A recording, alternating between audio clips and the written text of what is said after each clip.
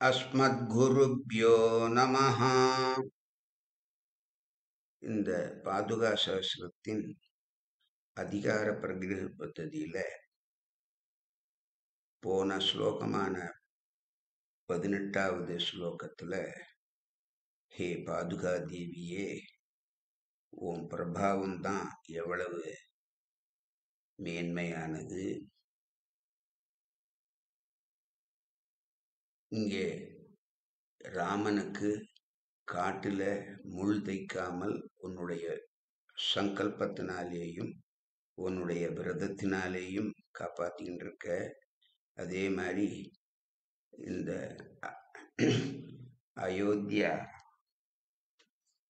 சிம்மாசனத்தில் உக்காண்டு அந்த நாட்டிலேயும் எதிரிகளுடையதான அந்த முள்ளு வராமல் நீ பார்த்துக்கிட்டு இருக்க அதனால் நீ ரெண்டு விதத்துலேயுமே நிஷ்கண்டகமாக இருக்க அப்படின்னு சொல்லி பாதுகா ராஜ்யத்தினுடைய மேன்மையை ரொம்ப அழகுபட சொன்னார். அதற்கு மேலே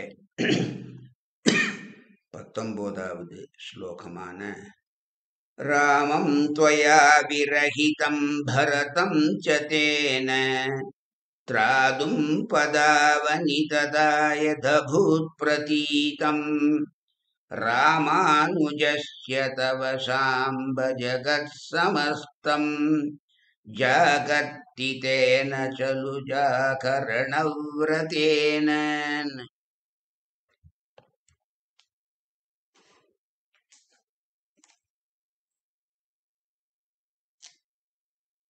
अम्ब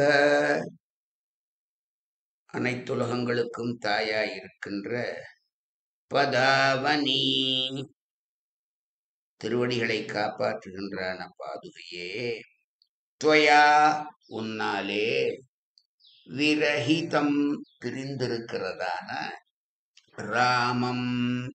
ஸ்ரீராமபிரானையும் தேன அந்த ராமனாலே விரஹிதம் பிரிந்திருக்கின்றன பரதம் ச. பரதாழ்வானையும் திராதும். காப்பாற்றுவதற்கு ததா அந்த சமயத்திலே ராமானுஜஸ்ய லக்ஷ்மணனுக்கும் தவச்ச உனக்கும் எது யாதொரு ஜாகிரத விரதமானது அதாவது எப்பொழுதும் கண்பிடித்து கொண்டிருக்கின்ற அந்த விரதமானது பிரதீதம் பிரசித்தமாக அபூத் ஆயிற்றோ. தேன ஜாகரண விரதேன கலு. அந்த விழித்து கொண்டிருக்கின்றதான விரதத்தினாலே அன்றோ. சமஸ்தம் ஜகத்து. அகில உலகங்களும் ஜாகர்த்தி ஜாகிரதையாக இருக்கிறது. அதாவது தொந்தரவு எதுவும் இல்லாமல் இருக்கிறது அப்படின்னு சாதிச்சதுக்கு ஹே பாதுகையே உன்னை விட்டு பிரிந்த ஸ்ரீ ராமனை ரட்சிப்பதற்காக லக்ஷ்மணர் தூக்கமில்லாமல் இருக்கிறார்.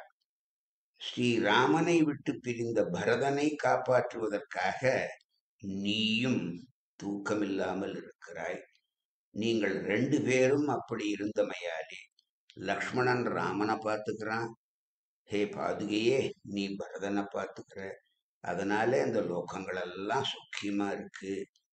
பாகவதாளாலே தான் பகவானுக்கும் உலகத்துக்கும் எல்லா சௌக்கியமும் உண்டாருங்கிறது தான் இந்த ஸ்லோகத்தினுடைய ஒரு உட்கருத்தாக நாம் கொள்ள வேணும்.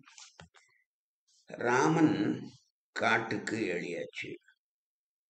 பட்டம் ஏற்க மறுத்து பரதன் அந்த காட்டுக்கே போய் ராமனை கெஞ்சி கூத்தாடி அவன் வர முடியாதனால அவனுக்கு பிரதிநிதியாக ஒன்ன சிற மீது ஏழை பண்ணிட்டு வந்தான். உனக்கு பட்டாபிஷேகம் பண்ணான். நீ காட்டுக்கு போனது ராமனுக்கு பணிவிடை பண்ணுவதற்காக. ஆனால் பரதன் பிடிவாதத்தால் நீ திரும்ப வேண்டியதாயிடுத்து. நாட்டை ஆளும் பொறுப்பும் கூடுதலாக உன் மீது விழுந்தது. உன்னுடைய அந்த ஜாகிரதா சங்கல்பத்தினால நீ ராமனுக்கு கல்லு முள்ளு குத்தாத அவனுடைய திருவடிகளையும் இங்கே இருந்தே உன்னுடைய சங்கல்பத்தினாலே காப்பாத்திக்கிட்டு இருக்க. ஒரு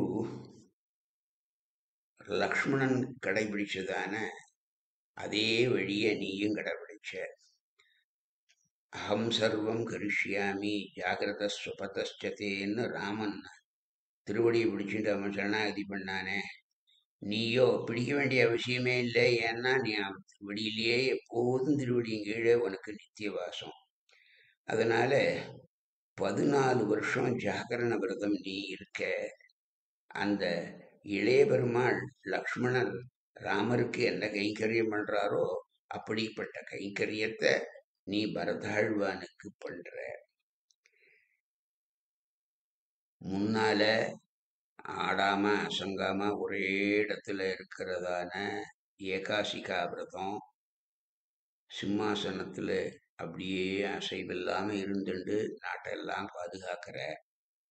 இப்போ உன்னுடைய சங்கல்பத்தினால ஜாகிரத பிரதிஷ்டியாக இருந்துட்டு அந்த பதினாலு வருஷம் ராமன் திருவடிக்கு எந்த நோவும் ஏற்படப்படாதுன்னு அந்த ராமனுடைய திருவடிகளையும் ரட்சிக்கிற இப்படி ஜாகரணம் ஏகாசிகா அந்த ரெண்டு விரதங்களையும் நீ ரொம்ப நன்றாக நிறைவேற்றுகிறாய்.